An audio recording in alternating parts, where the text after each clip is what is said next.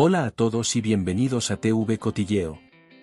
Aquí encontrarás las noticias más frescas del mundo de la prensa del corazón, análisis exclusivos y todo lo que necesitas saber sobre la vida de los famosos. No olvides suscribirte y activar la campanita para no perderte ni un solo detalle.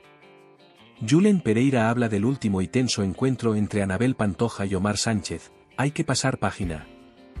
Julen Pereira tampoco se ha podido quedar al margen del último y tenso encuentro protagonizado por Anabel Pantoja y Omar Sánchez. El ex concursante de Supervivientes ha contestado a las preguntas de los periodistas de Europa Press en el último desfile de Félix Ramiro en el que él ha participado.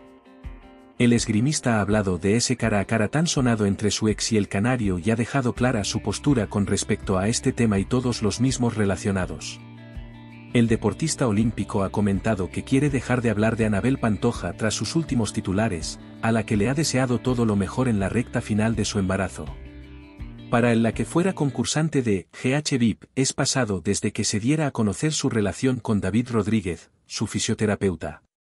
Sin embargo, ante las preguntas de los periodistas este ha hecho una excepción y se ha pronunciado tras el desplante público que Anabel hizo a Omar Sánchez. Es un tema que voy a dejar en el pasado las actitudes de Omar, las actitudes de Anabel, las actitudes de X personas creo que ni la voy a comentar porque no me incumben ahora mismo en este punto de mi vida.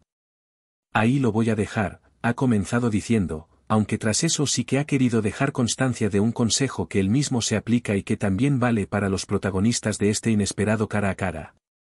El hijo de Erelis Ramos ha manifestado lo que él está haciendo y que cree que es lo mejor para poner fin al cruce de declaraciones de este triángulo entre él, Anabel Pantoja y Omar Sánchez. Creo que hay que pasar página. Dejémonos un poquito así, que hay que pasar página. Lo que pase ahora con él, con ella o lo que esté pasando ahora mismo en el mundo del corazón, no me incumbe a mí ahora mismo, ha explicado rotundo. En su caso, Julen Pereira no duda. Hace tiempo que pasé página con Anabel y por eso mismo creo que no es el momento de contestar ya estas preguntas, ha zanjado sobre el asunto en el que han pedido su opinión.